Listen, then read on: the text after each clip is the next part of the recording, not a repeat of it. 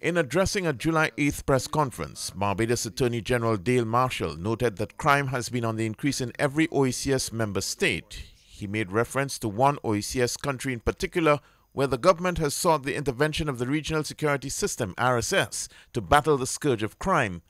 As part of the RSS, he indicated that Barbados stands ready to assist. I can reveal to you that only in the last few days, one RSS member state, and that is um, a member state of the regional security system made up of the OECS, Barbados, and now Guyana.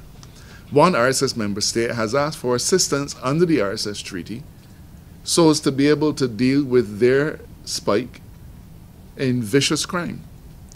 And the commissioner has assured me that he's going to be able to lend that particular territory a few of our officers to be able to bolster our own their own policing efforts. Mr. Marshall also addressed the wider issue of firearm trafficking across the region and spoke of measures to reduce, eliminate, and block opportunities to engage in this illegal trade.